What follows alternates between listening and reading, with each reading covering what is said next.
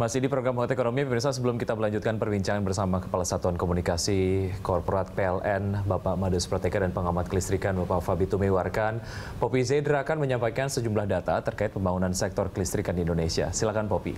Ya, terima kasih Wiki dan juga pemirsa. Pemerintah terus membangun untuk menambah kapasitas pembangkit di Indonesia.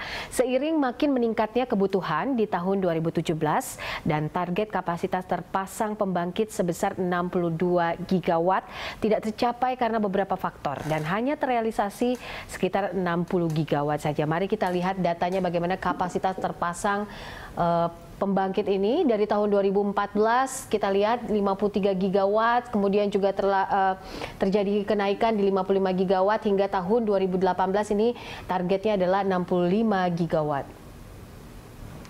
Dan konsumsi listrik tercatat semakin meningkat setiap tahunnya dan di tahun ini konsumsi bahkan diproyeksi mencapai 1129 kilowatt hour per kapita. Ini kita lihat saja datanya bagaimana konsumsi listrik dari tahun 2014 menuju ke tahun 2018 untuk mencapai target. Ini 2014 terlihat 878 kWh per kapita, kemudian meningkat lagi 900. Kemudian tahun 2016 terjadi lagi peningkatan di 956 dan akhirnya di tahun 2018 ini targetnya adalah 1129 kWh per kapita.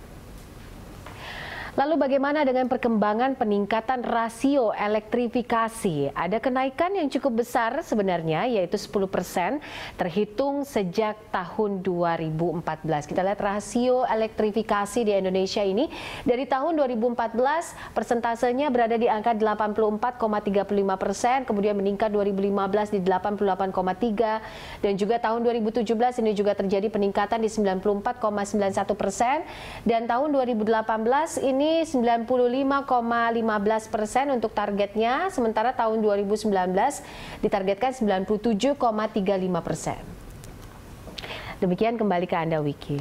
Iya, Popi terlepas dari cukup pesatnya kenaikan rasio elektrifikasi, bagaimana sebaran pemerataannya, terutama bagian uh, ataupun bagaimana perbandingan antara pulau dan juga provinsi di Indonesia?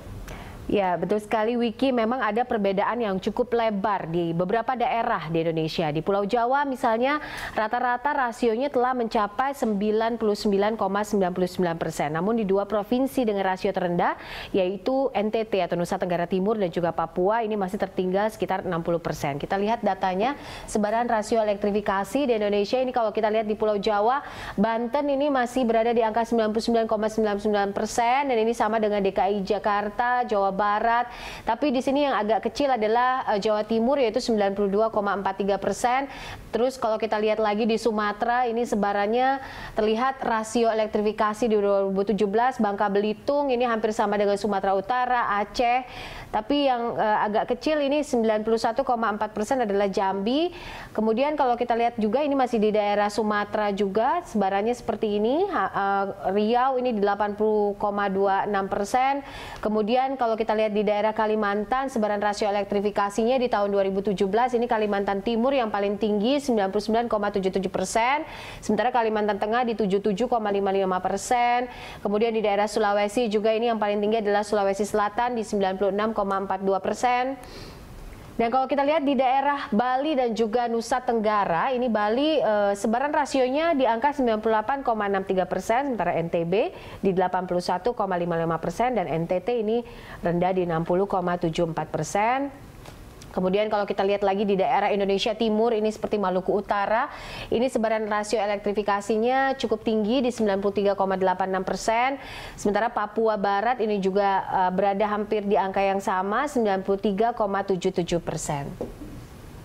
Demikian informasi yang dapat saya sampaikan kembali ke Wiki Adrian. Ya baik, terima kasih Popi atas informasi yang sangat elaboratif dan pemirsa Hot Ekonomi akan kembali jeda berikut.